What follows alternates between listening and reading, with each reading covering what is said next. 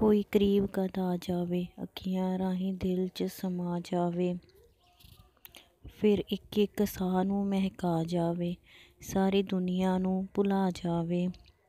ਜੋ ਧੜਕਣ ਬਣ ਕੇ ਧੜਕੇ ਇਸ ਦਿਲ ਵਿੱਚ ਤੇ ਕੋਈ ਰੂਹ ਦਾ ਰਿਸ਼ਤਾ ਪਾ ਜਾਵੇ। ਸੁਣ ਰੱਬਾ, ਇਹ ਮੰਗ ਦਿਆ ਦੀ ਕੋਈ ਉਮਰ ਭਰ ਦਾ ਸਾਥ ਨਿਭਾ ਜਾਵੇ। Please like share and subscribe my channel